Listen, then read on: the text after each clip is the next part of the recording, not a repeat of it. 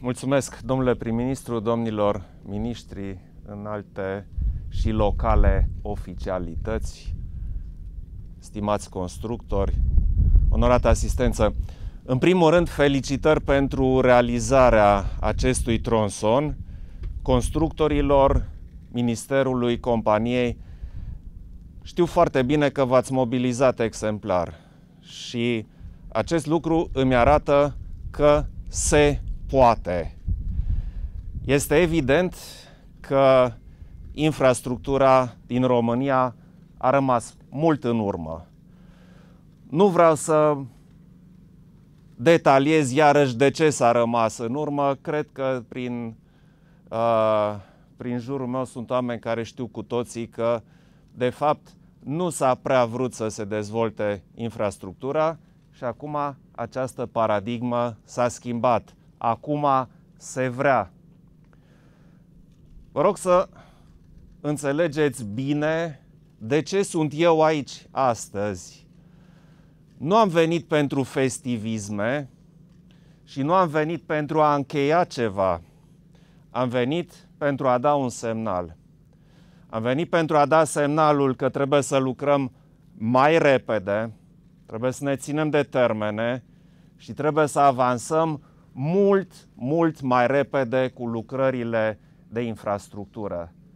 Acest eveniment nu este un punct terminus. Acest eveniment este un punct intermediar. Este un punct intermediar fiindcă mai avem foarte, foarte mult de lucru în România.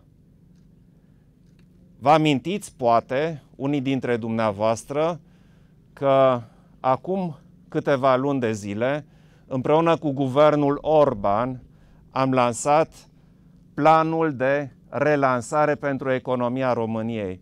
Un punct extrem de important, poate cel mai greu punct din acel plan, este infrastructura mare.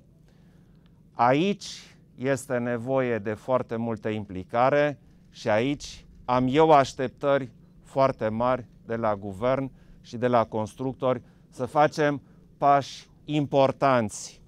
Deci, acest eveniment vrea să arate că ne dăm seama de importanța acestor lucrări și ne dăm seama că trebuie să schimbăm ritmul, trebuie să meargă totul mult, mult mai repede.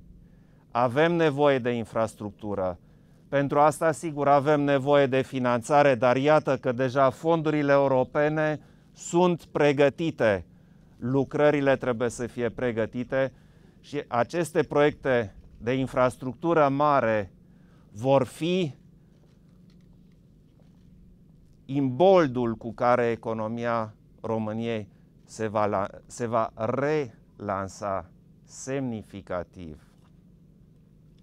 Prezența mea astăzi aici vrea să arate că mă interesează și voi rămâne conectat la aceste proiecte. Voi rămâne conectat fiindcă îmi dau seama de importanța lor.